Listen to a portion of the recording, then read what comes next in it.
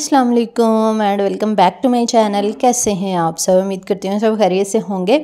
तो जनाब, यहाँ पे हमारा कुछ पार्सल आया हुआ था तो इसकी ओपनिंग कर रहे थे।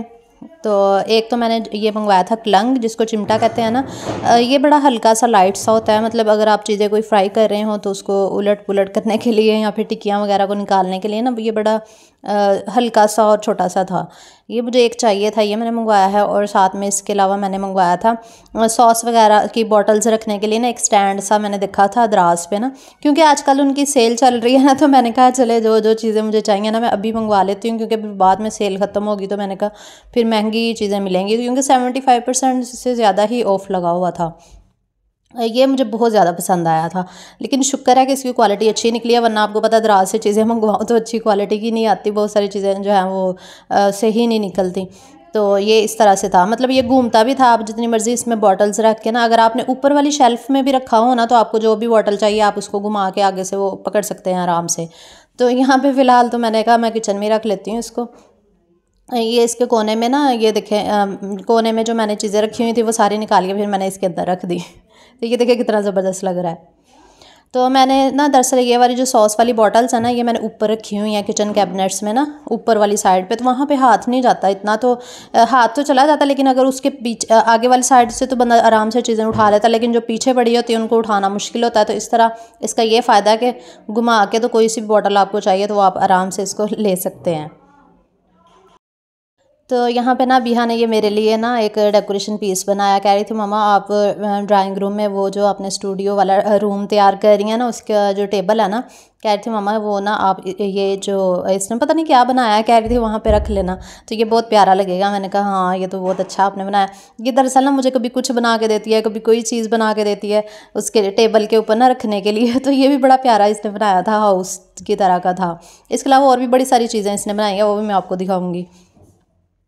अच्छा जी, खैर तो आज हमारे घर ट्रेजिडी ये हुई कि हमारी लाइट सुबह से बंद है, हमारा पानी ख़त्म हो गया, फिर हम सायों से हमने पानी लेके तो यहाँ पे टब वगैरह भरे हैं।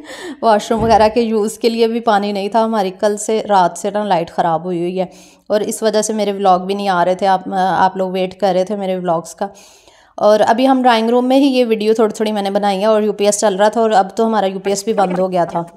तो अबीहा के लिए ना मैंने वाटर बॉटल भी ऑर्डर की हुई थी। तो इसने ना फ्रोज़न वाली मंगवाई है, वो जो फ्रोज़न पता नहीं क्या डॉल होती है कि क्या होती है। तो ये कह रही थी मैंने फ्रोज़न वाली मंगवानी है। दरअसल मैंने यहाँ पे शॉप से जो लेकर आए थे ना लास्ट टाइम हम बुक सेंटर से, पता नहीं किस वाले बुक सेंटर से हमने ली थी तो उसमें से ना स्मेल आना शुरू हो गई थी बॉटल में से। तो दो चार दिन लिए लेके गई है। स्कूल तो बहुत बुरी स्मेल आती थी, हालाँकि वॉश करके मैं देती थी तो फिर मैंने दोबारा से इसकी ना ये वाली ऑर्डर की। ये स्कूल के लिए ना बच्चों के ज़बरदस्त रहती हैं ये वाली बॉटल्स। तो इसने अपनी पसंद से मंगवाई है, ये साढ़े छः सौ की आई और इसकी क्वालिटी भी अच्छी थी। अब देखते हैं आगे इसका ना कैसा रहता है एक्सपीरियंस मतलब इसमें से स्मेल वगैरह तो नहीं आती। वैसे तो डेली वॉश करके ही इसको दिया करूँगी, लेकिन ये है कि यूज़ करने से ही प्रोडक्ट का पता चलता है कि प्रोडक्ट सही है या नहीं। तो मैंने कहा भी हाँ अब आपका नया लंच बॉक्स हो गया, नई ही बॉटल हो गई है। तो वैसे ये काफ़ी दिनों से स्कूल भी नहीं जा रही थी ना, इसकी तबीयत ख़राब थी। तो अभी नए वाला लंच बॉक्स भी अभी इसने यूज़ नहीं किया और बॉटल भी आज ही आई है इसकी। बस हम पूरा दिन फिर वेट करते रहे, लेकिन लाइट तो आई नहीं और फ्रिज की चीज़ें भी ख़राब होना शुरू हो गई थी, क्योंकि अगर दो दिन पड़ी रही चीज़ें तो ज़ाहिर ख़राब हो जाती हैं। रात से लाइट बंद थी और रात से ही फ्रिज भी बंद थी, सारी इतनी लीकेज हो गई, सारा पानी निकलता जा रहा था। तो फिर मैं बाजी की तरफ़ हम लोग आए मैंने कहा, चलें, जो फ्रीज़र वाली चीज़ें हैं ना, यहाँ पर रख देती हूँ। और इसके अलावा ना मैंने पिज़्ज़ा डो भी बना के रखी थी तो मैंने वो दरअसल लंच बॉक्स की वीडियो बना रही थी ना तो वो फिर बीच में ही रह गई। तो मैंने कहा चले फिर पिज़्ज़ा डो का ना वो बना लेते हैं चिकन ब्रेड बना लेते हैं। तो बाजी भी मेरे साथ हेल्प करवाने लग गई थी। बाजी कह रही थी चलो मैं चिकन बॉयल कर देती हूँ। बा, बाजी ने यहाँ पे चिकन बॉयल श्रेड कर दिया था तिक्का मसाला और नमक डाल के। तो इसके अंदर फिर मैंने बंद गोभी डाल दी थोड़ा एक क्रीम का पैकेट इसमें शामिल कर देंगे। तकरीबन आधा किलो चिकन होगा जो हमने बोन्स के साथ ना सेपरेट करके बनाया था। और साथ ही इसमें काली मिर्च, नमक, मायो थोड़ी सी डाल के तो ये बड़ी मज़े की स्टफिंग तैयार होती है। वैसे तो मैंने चिकन ब्रेड की रेसिपी काफ़ी दफ़ा आपके साथ शेयर की हुई है। अनएक्सपेक्टेडली ये रेसिपी बनानी पड़ी है, क्योंकि वो जो रेसिपी थी ना लंच बॉक्स की जो मैंने आप लोगों के साथ शेयर करनी थी, उसमें मैंने ना कुछ और बनाना था पिज़्ज़ा नहीं बनाना था और ना ही बर्गर बनाने थे, वो कोई और रेसिपी थी। तो फ़िलहाल फिर मुझे डो यहाँ पर लानी पड़ी और हमने कहा चलें इसकी ना वो बना के चिकन ब्रेड बना के तो बेक कर लेंगे। क्योंकि अभी लंच बॉक्स की वीडियो ना लेट हो जाएगी क्योंकि हमारे घर की लाइट फ़िलहाल ख़राब है और अभी तक सही नहीं हो सकी।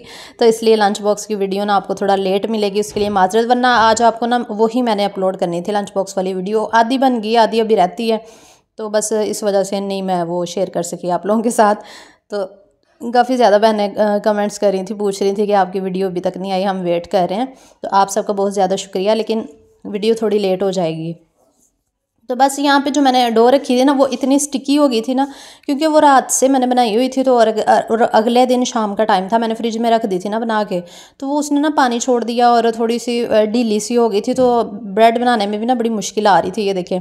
टूट रही थी ना वो बार बार और कभी चिपक जाती थी तो मैंने बड़ी ही मुश्किल से फिर चिकन ब्रेड बनाई ये देखें इस तरह से। क्योंकि जो होती है ना, पिज़्ज़ा ब्रेड या शवारमा ब्रेड हम लोग बनाते हैं तो अगर उसको फ्रेश फ्रेश बना लेना तो फिर बड़ी अच्छी शेप बन जाती है, जो भी आपने बनानी हो। लेकिन अगर वो पड़ी रहे ना तो फिर शेप ख़राब हो जाती है।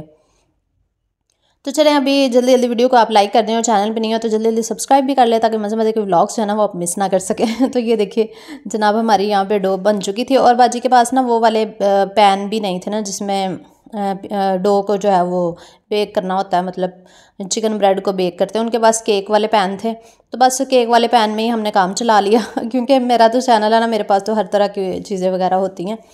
तो फिर बाजी को मैंने मशवरा दिया, मैंने कहा, हम ना प्रात में बेक करके देखते हैं। तो लास्ट वाली जो थी ना, क्योंकि ये बन गई थी तकरीबन सिक्स चिकन ब्रेड बन गई थी। एक किलो ना मैंने मैदा जो है ना ये सॉरी आटा की डो थी एक किलो की। तो फिर ये वाली जो परात थी ना बजी की छोटे वाली, इसके अंदर हमने बेकिंग की। तो पहले हम लोग डर रहे थे ये ना हो कि ये ना ब्लैक ही हो जाए जल के। तो फिर हमने कहा, चले रिस्क ले लेते हैं, रिस्क तो लेना चाहिए ना इंसान को, रिस्क नहीं लेंगे तो फिर पता कैसे चलेगा? फिर हमने कहा, चले बेक करके देखते हैं कैसा रिज़ल्ट आता है। तो रिज़ल्ट शुक्र है अच्छा आ गया था। और आपने दे, आप लोग देख रहे होंगे, मैंने जितनी भी बनाई है ना, कोई भी इतनी अच्छी नहीं बनी और बस लास्ट वाली जाके सही बनी थी। क्योंकि वो ना स्टिकी था एक तो आटा और दूसरा ये था कि वो, दूसरा ये कि प्रैक्टिस कर, करके वो चीज़ इंसान को ना आहिस्ता आहिस्ता ही बनानी आती है। मतलब तीन चार मैंने बनाई, वो उसकी प्रैक्टिस होगी ना तो फिर एंड वाली चीज़ ज़्यादा अच्छी बन गई। इसलिए कहते हैं ना practice makes a man perfect जब आप प्रैक्टिस करते हैं ना तो आहिस्ता हिसाब से ना चीज़ अच्छी बन जाती है। क्योंकि मैं ये मैं दूसरी तरह की बना रही थी ना वो बलों वाली तो बस इस वजह से। तो ये वाली इस, प्रात में हमने सब कुछ बेक बेक किया और देखें सेंटर वाली बिल्कुल भी अच्छी नहीं बनी। लेकिन ये कि बेक हो के ना सारी सही लग रही थी मतलब इतनी बुरी नहीं लग रही थी। बेक हो के अच्छी हो गई थी और इनका टेस्ट भी अच्छा था और मज़े की बन गई थी। क्योंकि खाने वाले में आपको पता ना गैस का मसला रहता है चली जाती है शाम को तो पूरे मुल्क में ही फ़िलहाल वैसे तो मसला रहता है लेकिन यहाँ पे भी है। तो यहाँ पे बच्चियाँ ना तैयार होकर जा रही थी मेहंदी के फ़ंक्शन पे तो मैंने इनकी वीडियो बनाई है, इनकी ना फ्रेंड की मेहंदी थी आज। तो सारी बच्चियाँ तैयार हुई थी, जिनकी शादियाँ हुई हैं ना रिसेंटली वो भी थी, और इनकी, बाकी सिस्टर्स भी थी। तो मैंने कहा, चले मैं आपके साथ शेयर करती हूँ, सारी माशाल्लाह बहुत प्यारी लग रही थी।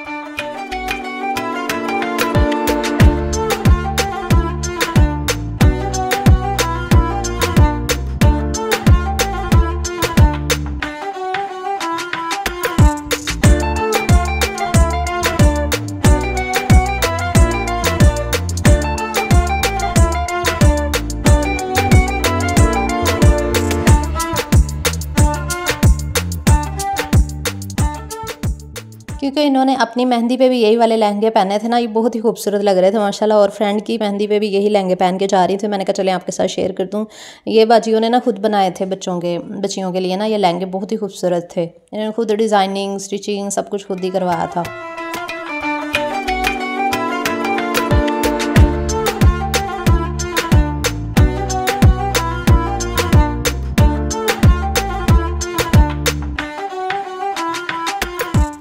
ये बच्चियाँ ना आप लोगों को हार्ट दे रही हैं सारी यूट्यूब फैमिली के लिए स्पेशली अच्छा जी, यहाँ पे हमारी ना चिकन ब्रेड जो है ना वो बेक हो चुकी थी। तो ये देखिए कितना अच्छा सा कलर आ गया था, क्योंकि कुकिंग रेंज में हमने इसको बेक किया था ना कुकिंग रेंज आपको पता है वही वाला जो मैं यूज़ किया करती थी, उसके अंदर ना इसको बेक किया था। तो ये वाली भी बेक हो चुकी थी। क्योंकि वो गैस जाने वाली थी ना बस शुक्र है, अल्लाह का कि बेक हो गई। इनको हमने ज़्यादा कलर नहीं दिलाया था, पहले वाली को ज़्यादा कलर आ गया था। ये देखे ना, बेक हो के इनकी शेप अच्छी आ गई थी, वैसे तो इनकी शेप इतनी प्यारी नहीं लग रही थी, लेकिन जब बेक हुई ना तो बहुत प्यारा सा कलर आ गया था। तो क्योंकि रात हमने आज इधर ही रुकना था, हमने घर जाके क्या करना था? हमारे घर में ना पानी था, ना बिजली थी, कुछ भी नहीं था। और दो दिन से मैंने यही ड्रेस पहना हुआ था और आपने पिछले व्लॉग में भी ये ड्रेस देखा होगा। अब कुछ लोग कहेंगे, बाजी, इन्ने दिनों तो आए तुम ड्रेस पाया, चेंज था कर लेना सी। बस इसी वजह से नहीं ना चेंज किया, लाइट ही नहीं थी और फिर पानी भी नहीं था। कितनी मुश्किल होती है लाइफ। लाइट के बगैर तो ज़िंदगी है ही नहीं है, समझ लें। बस फिर रात हम उधर ही स्टे किया था। अब नेक्स्ट डे मॉर्निंग हो चुकी है और यहाँ पे बन रहे हैं जनाब नाश्ता वगैरह। और मैं ना इसी वजह से आप लोगों के साथ डेली व्लॉगिंग जो है ना वो नहीं शेयर कर रही, वरना आपको पता है कि कभी होता है कि मैं जो है वो छुट्टी ले लूँ, वरना मैं डेली ही आपके साथ व्लॉग शेयर कर रही होती हूँ। बस ये रीज़न्स हैं, इस वजह से मेरे डेली व्लॉग नहीं आएँगे और आगे भी पता नहीं अब आपको कल भी मिलेगा या नहीं, या उससे अगले दिन हो सकता मिले मेरा व्लॉग तो इसलिए कम कम व्लॉग आ रहे हैं। तो यहाँ पर बाजियाँ जो है ना वो नाश्ता बना रही थी। यहाँ पे ये होता है कि हम सुबह जब उठते हैं ना, सारे मिलके नाश्ता करते हैं और मिलजुल के ही सारा काम करते हैं, बहुत मज़ा आता है। जिस तरह आप लोग मुझे मुझे देखते हैं अक्सर, हम, मैं जब अपने मायके में भी जाती हूँ तो मेरी भाभियाँ और हम सब मिल के सारा काम करते हैं ना, बहुत मज़ा आता है और साथ में गपशप भी हो रही होती है तो ऐसा ही सेम मेरे ससुराल में भी ऐसे ही है। मैं और भाभियाँ, नंदे सारे मिलजुल के यानी कि काम करते हैं, नाश्ता हो, चाहे खाना हो तो सभी बहुत ज़्यादा इन्जॉय करते हैं। तो बाजियों ने नाश्ता बना लिया था फिर नाश्ता करने के बाद मैंने कहा, चले मैं बर्तन धो देती हूँ और किचन साफ़ कर देती हूँ। तो यहाँ पे फिर मैंने बर्तन धो रही थी। और अक्सर जो लोग मुझे चैनल चेक करवाने का कहते हैं या फिर कहते हैं कि हमारी पेड प्रमोशन के लिए अक्सर लोग ना मुझे मैसेजेस भी करते हैं। तो मैंने सिर्फ़ और सिर्फ़ आप लोगों की खातिर ना, वरना मैं प्रमोशन आप लोगों को पता नहीं करती हूँ, ना ही मैं लिंक्स वगैरह शेयर करती हूँ। तो मैंने सोचा जो मेरा फ़ूड का चैनल है ना, वहाँ पर मैं आप लोगों के लिंक्स शेयर कर दिया करूँ। अगर आप लोगों में से कोई इंटरेस्टेड हो तो वो मुझे ना इंस्टाग्राम पर डी कर सकता है। इंस्टाग्राम का लिंक मैंने डिस्क्रिप्शन में दिया है कमेंट के साथ भी पिन किया हुआ है। Aliyam Bashar vlogs at the rate यही मेरा इंस्टाग्राम की आई अगर आप लोगों मेरे से कोई लिंक शेयर करवाना चाहता है। पेड लिंक और बहुत कम प्राइस मैंने रखी है, बहुत ज़्यादा नहीं रखी ताकि आप लोगों का भी कोई फ़ायदा हो सके। मगर मतलब ये कि अगर आपके कुकिंग के चैनल्स हैं तो आप मेरे कुकिंग चैनल से आप अपनी प्रमोशन करवा सकते हैं और बहुत कम चार्जेस मैंने रखे हैं उसके लिए। लेकिन ये कि उसकी शर्त यह है कि आपका चैनल भी अच्छा होना चाहिए। ये ना हो कि चैनल पे बिल्कुल अच्छा काम ना हो तो आप कहें कि प्रमोशन कर दें, फिर आप कहें कि मेरे तो व्यूज़ ही नहीं आए, ये हो गया, वो हो गया। इस तरह का काम मैं नहीं करती और इस तरह के लोगों के मैं चैनल्स भी शेयर नहीं करती।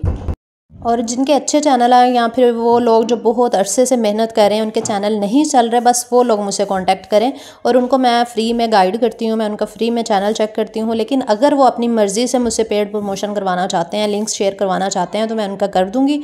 और इसके अलावा आपको पता है मैं बहुत सारे लोगों को फ्री में भी प्रमोट करती हूँ जिन जो बेचारे नहीं अफोर्ड कर सकते या जिनके चैनल अच्छे हैं और वो, वो चाहते हैं कि उनका चैनल जो है ना वो जल्दी कामयाब हो जाए बस वही लोग मुझसे कॉन्टैक्ट करें।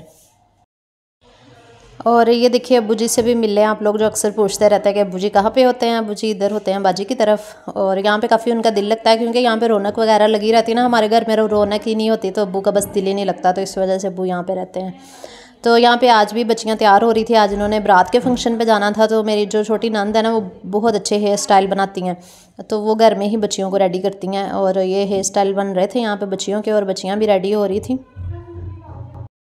क्योंकि आजकल हम इधर ही रहना ना बाजू की तरफ़ ही दो दिन हो हैं तो यहाँ पे भी जो एक्टिविटीज़ होती हैं जो कुछ भी हो रहा था बस मैं वो ही आप लोगों के साथ ब्लॉग में आजकल शेयर कर रही हूँ।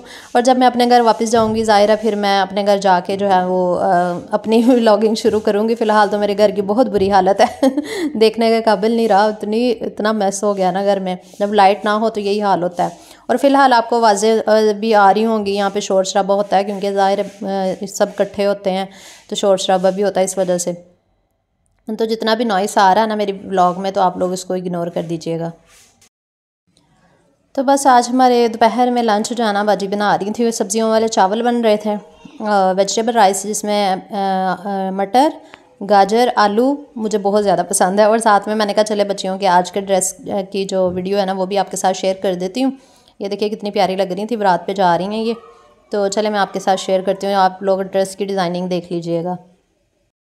क्योंकि आजकल शादियों के सीज़न है ना, हर जगह मतलब ये जो महीने होते हैं, नवंबर, दिसंबर, अक्टूबर से ही शादियों के सीज़न स्टार्ट हो जाते हैं तो बहुत सारे लोगों की शादियाँ हो रही होती हैं आजकल के सीजन्स में।